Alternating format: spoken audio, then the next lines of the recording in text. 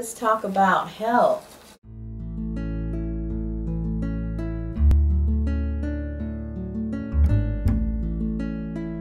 We'd like you to choose eight priorities that will meet the needs of Randolph this year.